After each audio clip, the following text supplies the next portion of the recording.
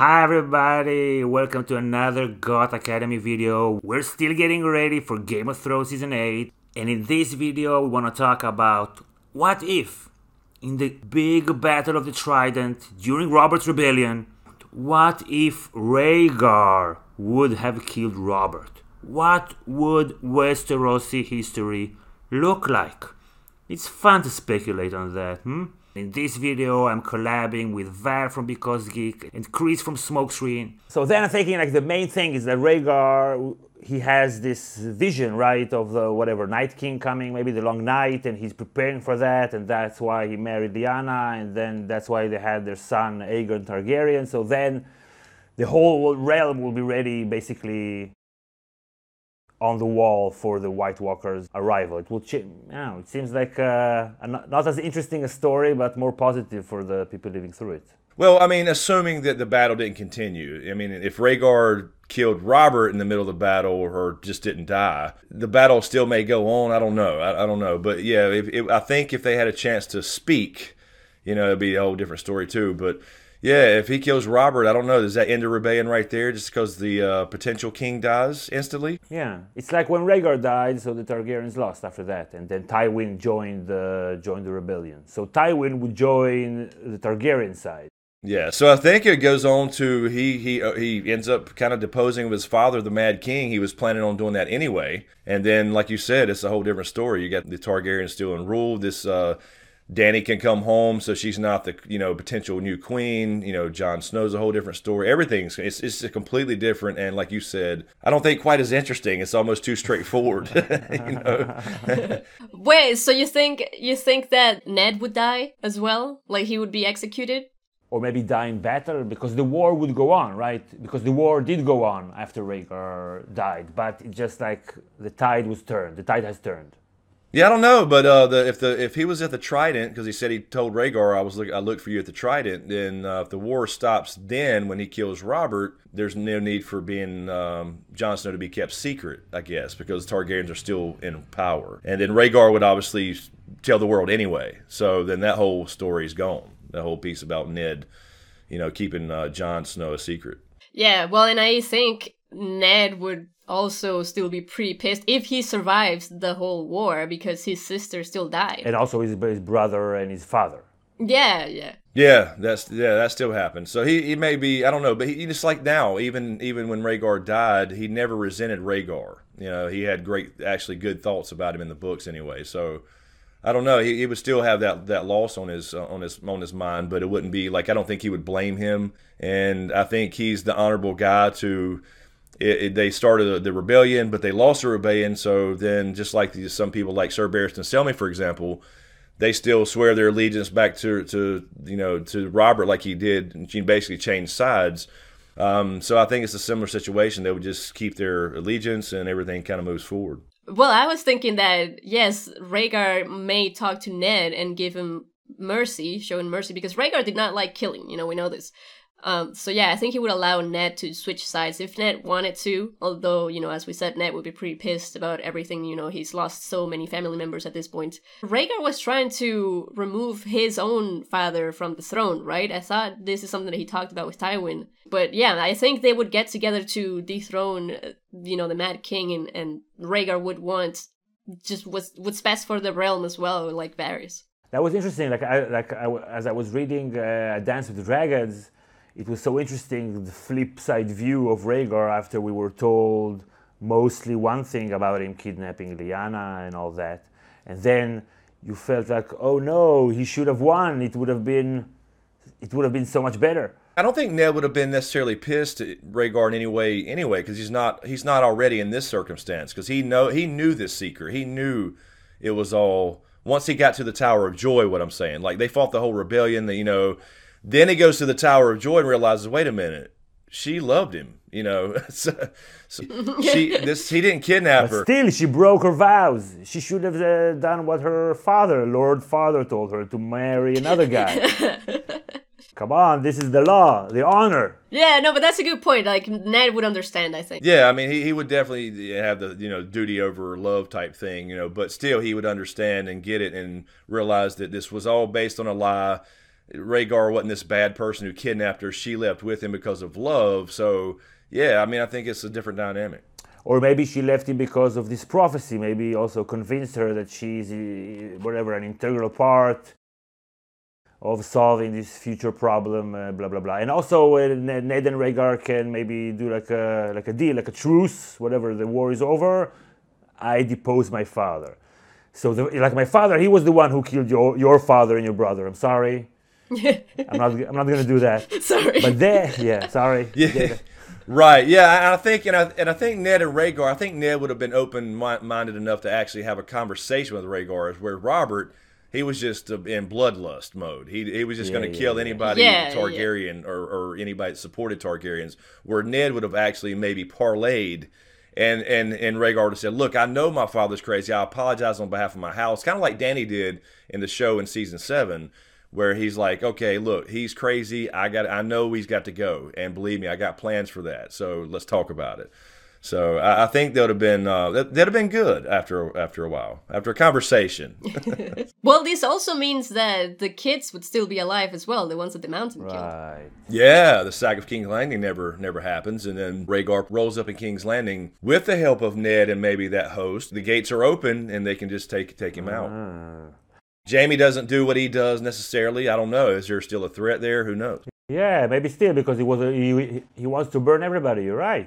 Ah, he wants to burn everybody, so Jaime still has to kill him Oh. unless they unless they depose him in some other way. And then I guess it, anyways, it's it's some precedent. The heir of the king deposing his father and taking over. That's like against the rules. So that would put some some checks and balances that in case you're a mad king, your son and heir that's something that happened quite frequently in history when the son, uh, whatever, usurped the father. But in the story, only in the show, right, with Ramsay and uh, some other northern house, oh, right, yeah. they had to kill their fathers. But other than that, The Mad King Aerys didn't really give the order to burn them all. That was only after Tywin came in and then started sacking the city. So if if Tywin never has to go to the city because Rhaegar and the whole host goes, then he doesn't give that order, so Jaime doesn't have to kill him in that in that same way. Al- Also, one of the reasons why Jaime wanted to kill the Mad King was because the Mad King asked him to bring him Tywin's head as well. Yeah, so if that never happens, then he may maybe doesn't give that order to the Pyromancers, and he sees Rhaegar and the Targaryen host coming back, you know, um, and and doesn't go batshit crazy because it's not Tywin sacking the city, opening the gates to him. yeah, and then they can put him whatever in his room, under guard, stay there. Something to that effect, you know. Go back to Dragonstone, chill, put him in a padded room. Yeah, smoke something, relax, relax. I think Jon would still end up with Dany potentially, I mean, because that was a Targaryen thing. I mean, that would, they would have been cool with that. but- Ah, why? Now I want to see this parallel universe and them ending up together again in every lifetime.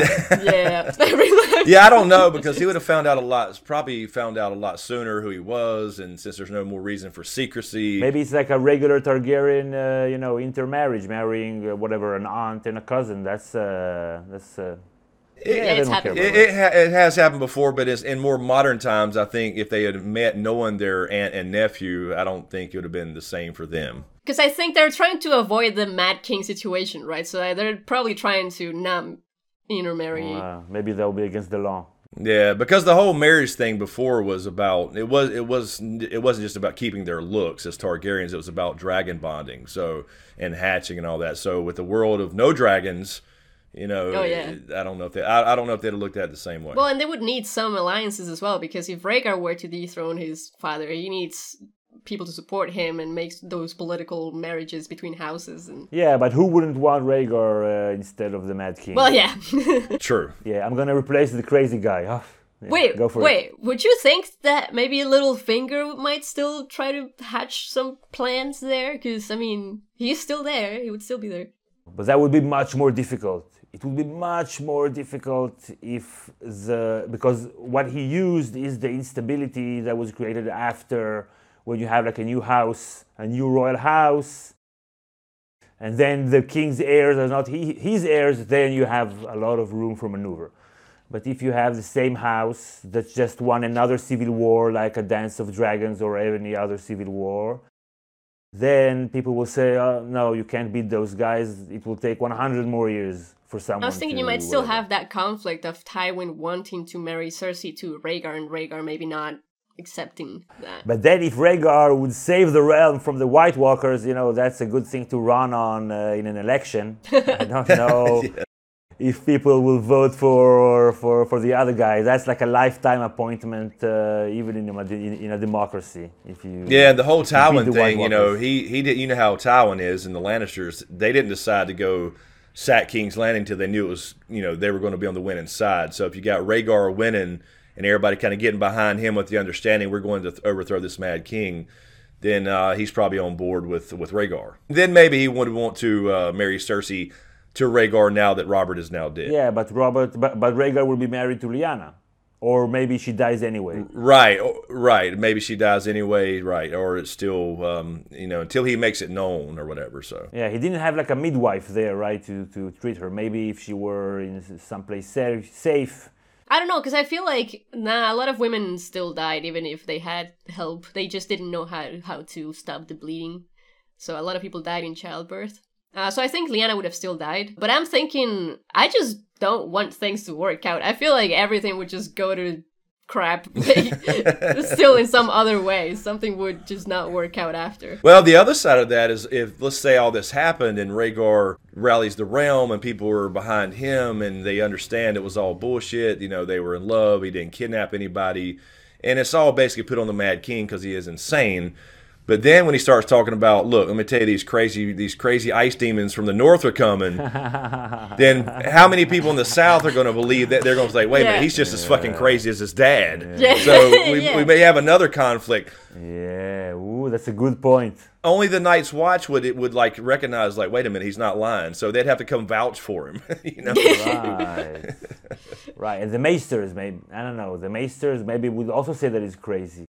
Yeah, and then this, and then the faith. I don't think it works well for the faith that there are uh, these monsters. It doesn't uh, fit in their dogma. That's right, exactly, have, uh, exactly. yeah, a non-magical world. Yeah, yeah, yeah. Oh, that's a very good point. So then you know you think things will turn to shit anyways. they, they could i'm just saying there's that that potential because like you know like i said the the northern houses they would be more apt to believe these kind of stories because they, they've heard them growing up and you know there's some truth in them um, they've probably forgotten you know the north don't remember anything so but the night's watch has started to see this stuff happen but again then again then you got to ask okay what are they reacting to anyway? And if something changed in the South, as far as you know, was it was it Jon Snow? Was it uh, you know a Targaryen killing the Starks? Whatever you think they're reacting to, if that didn't happen the same way, would they come back anyway? But you still need Bran to turn into the three-eyed raven, right?